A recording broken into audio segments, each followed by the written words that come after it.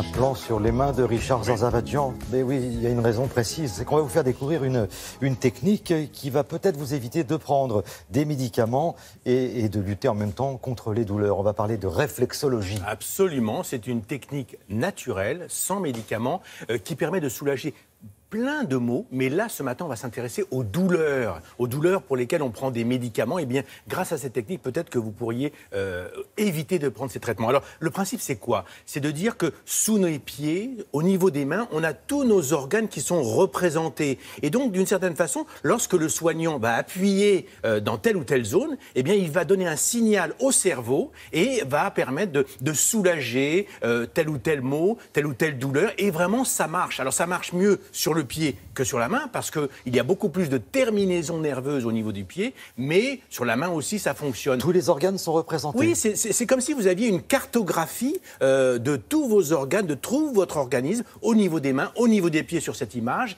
et c'est une technique héritée de la médecine chinoise. Vous savez, l'acupuncture, on appuie sur des zones, eh bien c'est un peu le même principe, et c'est quelque chose qui se développe. Moi, je vous propose d'écouter tout de suite deux patientes qui ont eu, qui ont des douleurs très fortes lombalgie, euh, douleurs digestives, et qui ne veulent pas prendre des médicaments. Parce que maintenant, de plus en plus de gens se tournent vers des techniques non médicamenteuses. Regardez la réflexologie sur ces deux patientes.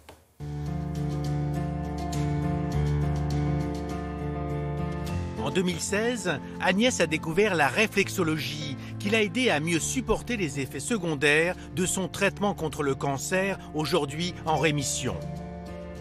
Une méthode douce qu'elle a désormais adoptée contre ces maux du quotidien.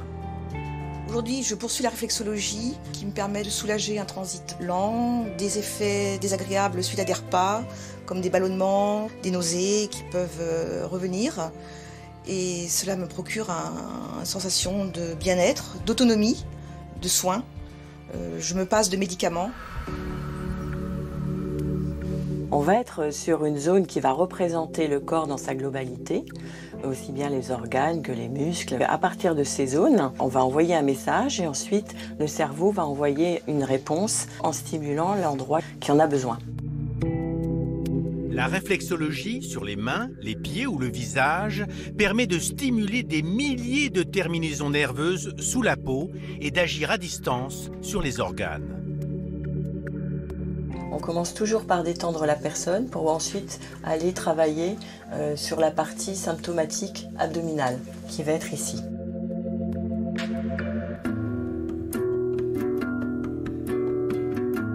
Pour Cathy, les douleurs sont dorsales à cause d'une chute. Et ce matin, sous le soleil d'été, on va opter pour la réflexologie plantaire. Je vais travailler sur les zones symptomatiques. Donc ici, j'ai les lombaires, je vais travailler également les dorsales, je vais travailler aussi les vertèbres sacrées que l'on a ici. Et je vais également travailler les surrénales qui sont un antidouleur. Ça va? C'est un peu sensible? Ce qui va me permettre de réguler sur différents niveaux. Quand je sens la crise arriver, avant que ce soit trop tard, je vais voir ma réflexologue pour qu'elle me soulage immédiatement, pour éviter de prendre les médicaments. Aujourd'hui, nous avons la chance de pouvoir faire la séance à l'extérieur, ce qui est magique. Et ça rend le sourire. C'est important ce qu'elle dit parce que effectivement, il y a un lâcher prise, on est beaucoup plus décontracté, beaucoup moins stressé, et on sait euh, que l'humeur agit sur la douleur. Donc il y, a, il y, a, à la fois un effet directement sur la douleur, mais aussi le lâcher prise permet de moins avoir mal. Je vous crois volontiers car vous l'avez testé, donc oui, c'est quand même assez incroyable. Ah non non, absolument. Moi j'avais une douleur au niveau du cou, et grâce à la réflexologie plantaire, j'ai eu beaucoup moins mal. Alors c'est une technique qui se développe formidablement parce que même dans les hôpitaux, Thierry, on utilise la réflexologie cette soignante et euh, intervient aussi dans différents hôpitaux. À l'hôpital Pompidou, ici à Paris, on utilise ça pour les personnes qui ont un traitement contre le cancer et dont on sait que ça provoque des, douleurs, parfois des, difficultés, ces effets secondaires. On utilise ces techniques-là. Donc vous voyez, c'est quelque chose de formidable. Et puis dernière chose, on peut aussi le faire chez soi. On appelle ça l'autoréflexologie. Et donc, on peut, à partir du moment où on est avec un, un soignant qualifié, expérimenté, on peut utiliser cette technique chez soi, l'autoréflexologie. Donc voilà, et on confie euh, ses mains et ses pieds à des spécialistes. Absolument. Vous avez tous les renseignements hein, sur le site de Télématin. Merci beaucoup, Richard.